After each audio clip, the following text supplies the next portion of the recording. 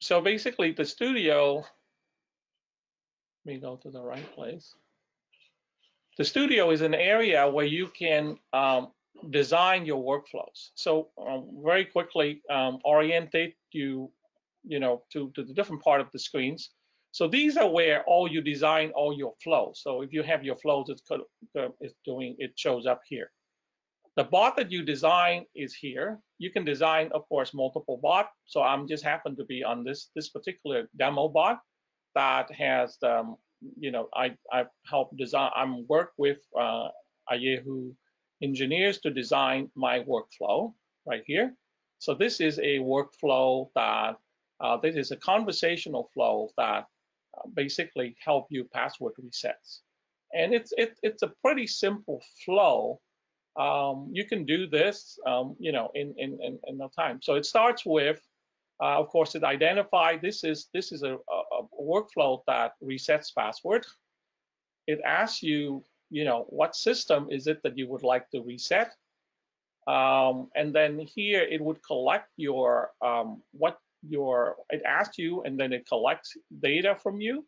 So here we basically build out a, a, a thing that has um, three, flow, uh, Active Directory, SAP, and VPN, uh, followed by a particular node here that does uh, authentication requests to um, uh, to the Ayehu system in order for the two systems to interconnect.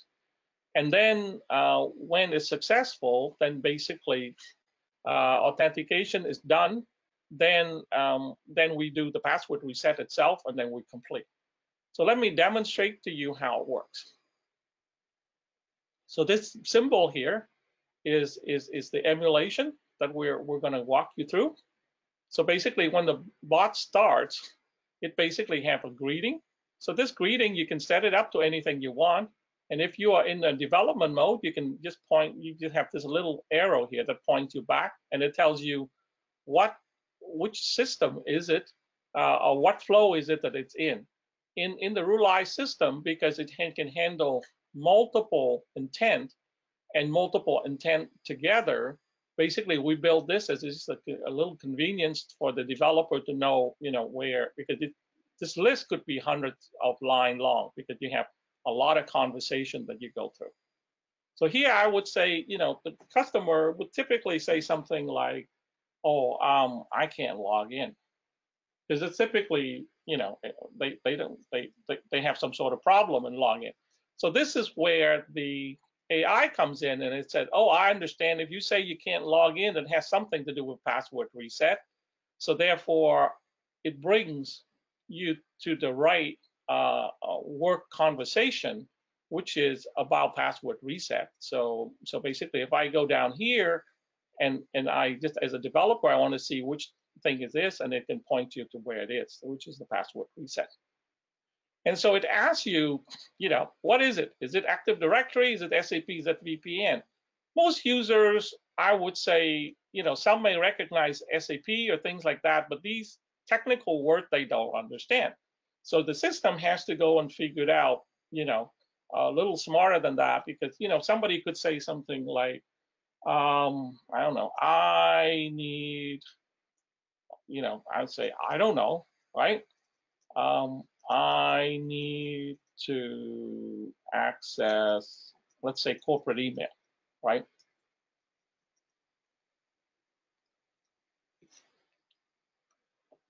The system has to be able to come outside. So basically here, yes, you can see there's nothing, you know, there's nothing in here um, that coded this. But because the Rulai system is a um, is a system that allows you to do multiple things during a conversational flow. Like here, it went outside and look at knowledge and see, you know, what is it that the customer is talking about, so that um, you can guide the customer. So here is there's a whole knowledge section here. I just put in a little bit here for for this but you can connect this, you can import the, the knowledge in, or you can basically uh, import um, a doc, um, an SOP PDF document it understand it generates question and answer from uh, from those document, or you can connect it into a knowledge base. It can do that because that will help both the system and the users to figure out how they deal with the contacts inside of the workflow. And as you look at the workflow here, there's nothing, this section doesn't exist. So, so we have a dialogue manager, which is another piece of AI that knows how to how to deal with those. So at this point, you know, I I uh, inform the customer, the, the user that it's really Active Directory that you want. Hopefully, the user will click Active Directory, and then, of course, you know, here's the authentication comes in. So this is the authentication that is, is right now is orchestrated really on the back end, not by this bot. We can orchestrate it here, but this is happened to be orchestrated by Ayehu. So Ayehu, if if Ayehu sends me a, a, a notification, so I just get a notification on my phone that said the um, the code to authenticate is 6701. So I'll type 6701. And now the code Ayehu is, you know, so now I'm I'm getting the Ayehu uh, system to execute the password reset. So these all of these come from password reset from the backend Ayehu systems. It basically talk to Active Directory and um, and and give me give me the temporary password as well as logging in the ticket to ServiceNow and and give me back the ticket that um, that it, it has done. So so that in that way it it it it's now finished the first workflow that I show you, which is password reset on Active Directory, and I don't have to to go out and go back in and things like that. I could just basically now I could ask another question. I could say something like, by the way, uh, I submitted a ticket yesterday, right? Um, what is the status?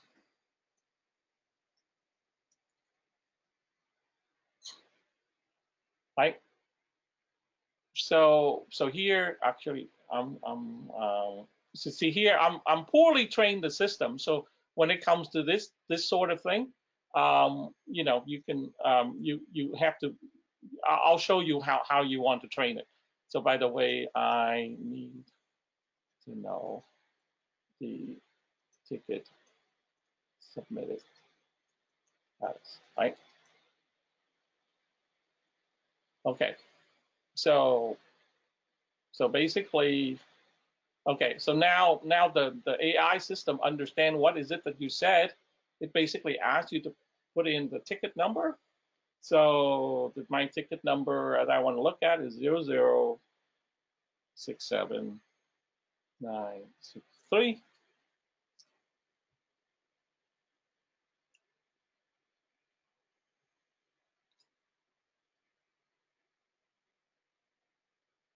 And so, so now this is coming back from ServiceNow facilitated by Ayehu.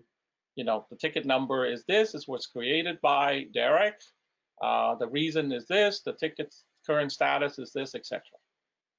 So, so that's kind of conclude kind of like the, the demo flow, but I wanted to show you a little bit about, you know, why I, I have problem and how, how do I do it.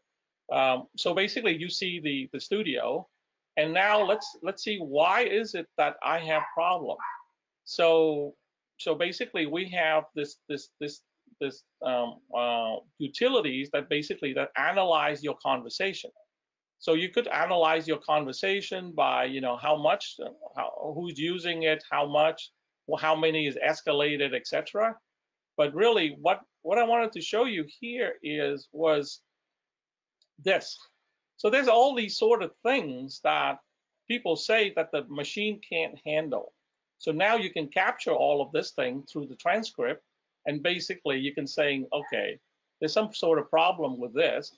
Where is it that that it has problem with, and how do you fix it? And then these are all the, the type of of, uh, of a conversation that that has problem because you need all of this thing in order to tune your your your chatbot to be ready for for prime time use because you do not want the user to you know, the bot to get confused too much and you you you want to uh, adapt it to all the various ways that the user would pose the question based upon the context of work. So these are the sort of thing that comes with the Rulai systems and um, and basically after you've done all that thing you just go over here one click deploy then then you deploy it to the environment so I'd like now to kind of pass it to um, to Derek and show the, uh, the, the what you have to do on the on the Ayehu side. Derek or? Guy? Hello, everybody. This is Derek Pascarella with the Ayehu. I'm one of the solutions engineers here. Great job there, Henry. Um, I really love the transcripts and the training portion. I could see how you could definitely train that bot to be very smart and uh, you know pick up on all the little nuances of human speech. Is everybody able to see my screen? Yep. Okay. So I'm going to log in to my Ayehu instance here through our web UI. Ayehu is accessible through a web browser. And uh, I'm going to first open up our menu here to navigate to the audit trail. This section here lets us see a live look at all the events incoming into the Ayehu system. So the chatbot conversation that Henry just had, we can see the event came through right here.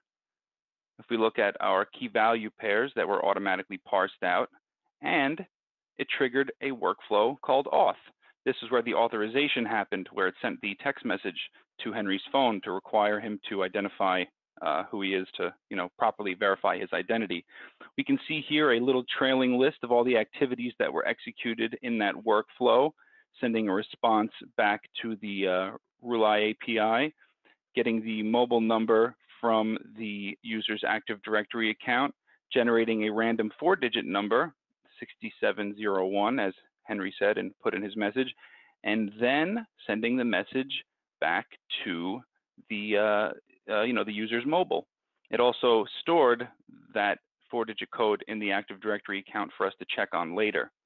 So I'm going to show you what that workflow actually looks like. I'm going to open up our menu and navigate to the Workflow Designer.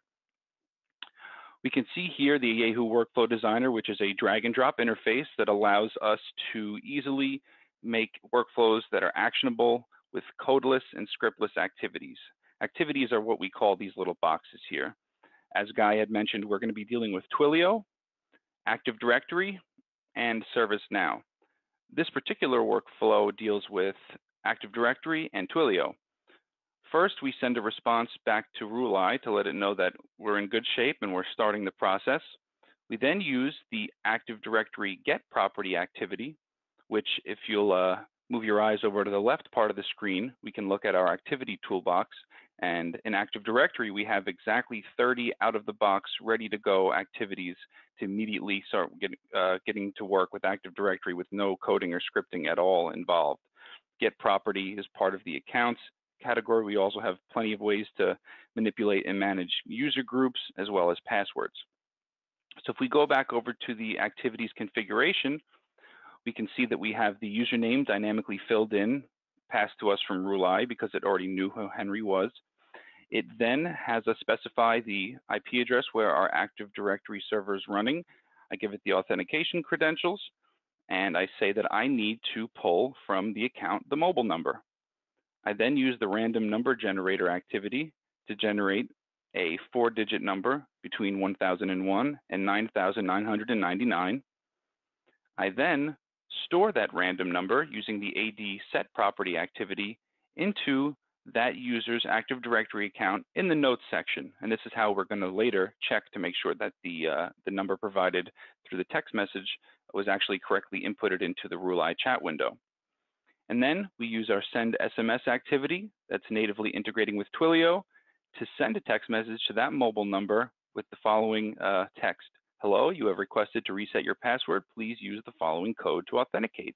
And you can see right there, that's the four digit number that was dynamically and randomly generated by our random number generator activity.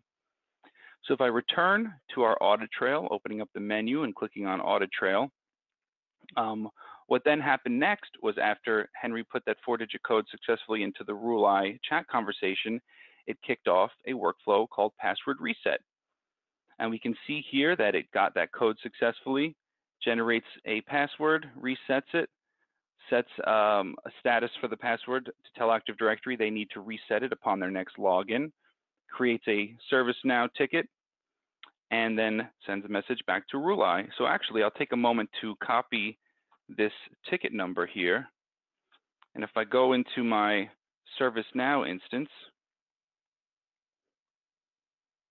we can see that if I search for this ticket number, a ticket was generated that says password reset by Henry for Active Directory and a description here as well. I'm going to close that out, return back to Ayehu. So let's go back to the workflow designer to look at that password reset uh, workflow. Opening up the menu, returning to the workflow designer, and here's the password reset workflow. Again, we're using Active Directory, and we're also using our ServiceNow native integration. So as I said before, we stored that random four-digit number in the Active Directory account, and this is the part where Rulai said, um, okay, Ayehu, we need you to run this workflow, so why don't you go ahead and pull that four-digit number from the notes stored for that user, and if the number is correct, proceed down this path to reset the password, and if not, send a message back to Rulai with a, uh, you know, letting it know, sorry, but actually we were not able to authenticate you. Um, so we used our nifty little password generator activity here to meet our um, Active Directory minimum password requirements to say, I would like a new password generated, eight characters in length, a mix of both upper and lowercase letters, and uh, also include one number and one special character. We then use the password reset activity, just like you saw with the other Active Directory activities, to specify the account name, the password coming from the password generator activity, and the Active Directory server. We then use the AD set password properties activity to tell Active Directory that for this particular account, the password must be changed after its next login. We then use our ServiceNow create record activity. And if you'll just let me pause for a moment to focus your attention back over to the activities toolbox on the left, if I scroll down to ServiceNow, it's one of our out-of-the-box turnkey integrations we can see that by simply dragging these onto our workflow, we can do many, many things in ServiceNow from creating to deleting records, downloading or uploading attachments, updating records, or grabbing ticket information. We can work with a ServiceNow CMDB this way, or anything at all. Any entity that lives in ServiceNow can be talked to natively from the Ayehu platform. Um, so we can see that for our ServiceNow create record activity, all we had to do was give it a uh, form that we wanted to work with.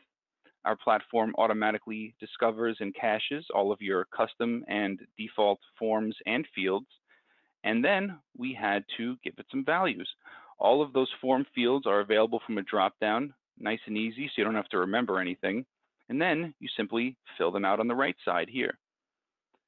We then store a message to send back to Rulai with the new temporary password, letting them know that they need to change it after their next login, and then also include the ticket number that was generated in ServiceNow, and then we send that back to Rulai. The last portion of the chatbot demonstration, if I return to the audit trail, involved querying the status of a ticket. So we can see this ticket status workflow was triggered. Um, rather than walk you through each and every one of these steps here in the audit trail, I am actually going to jump right into the workflow. So I'm going to open up the workflow designer here. And if we look at the ticket status workflow, we can see that we use the ServiceNow get record activity to pull all of the information on the ticket number that was specified. We grab the creation date, the caller, the ticket's current state, whatever is stored in the short description field.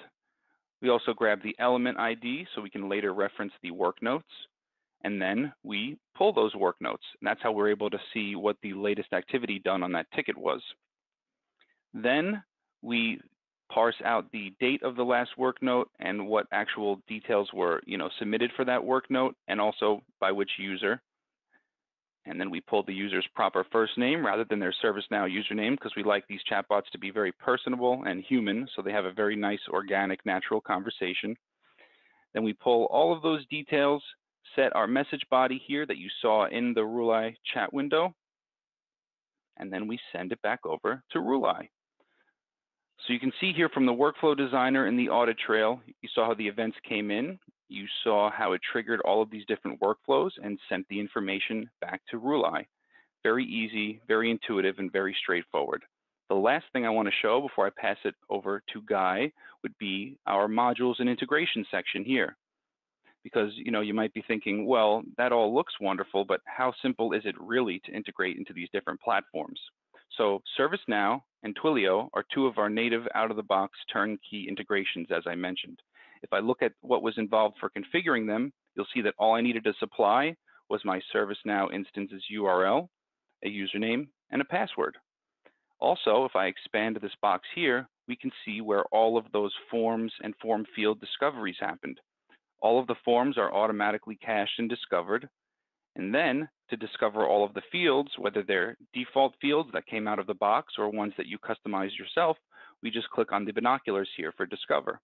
And if you should ever change anything on any of your forms or fields, you'd simply come back to this configuration and click on the refresh icon, and all the changes are updated automatically. We don't want you to spend time working on things like that. We want to get you off the ground and moving as fast as possible. And the same is true for Twilio. We can see I needed to give it some basic information like an account SID token and the number I'll be sending text messages from. And uh, just like that, it's already ready to be working, sending text messages. Our conversations between uh, Ayehu and Rulai happened with our web service module. So I've got a, a uh, API server running right here on this server over port 8301 that allowed Rulai to talk back to Ayehu. And um, that sums it up.